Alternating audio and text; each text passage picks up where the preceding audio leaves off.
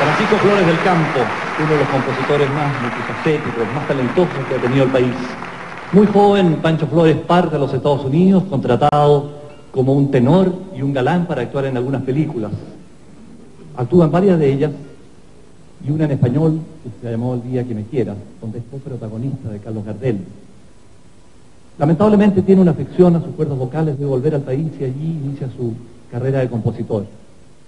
Primero, entregándole a los quinteros de allá de la década del 40 los famosos boleros, Sufrir, Agonía, Niebla, boleros inmortales. Luego, también incursiona en la música chilena, con una hermosa canción, Mi caballo blanco.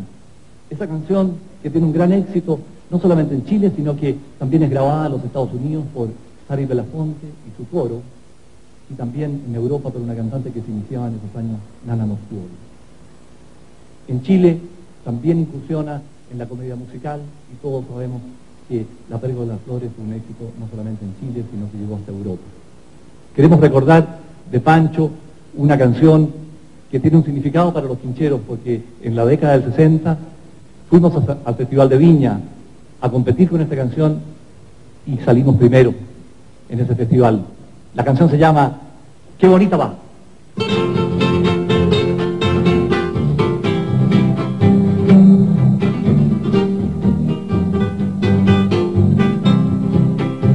Qué bonita va,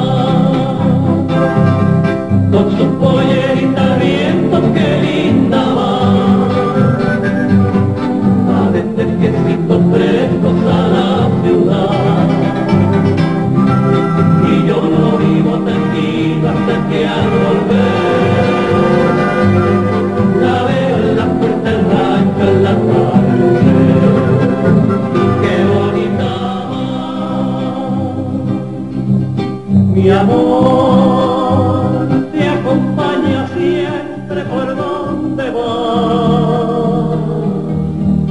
No sabe quedarse solo si tú no estás.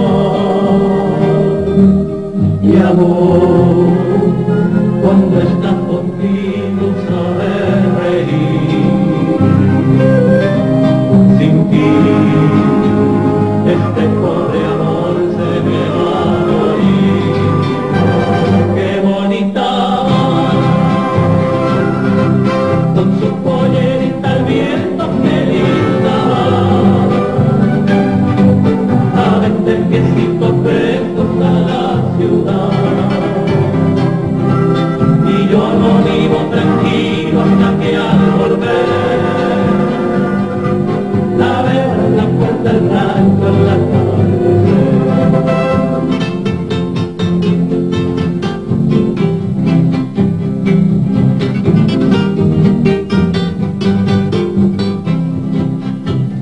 qué bonita.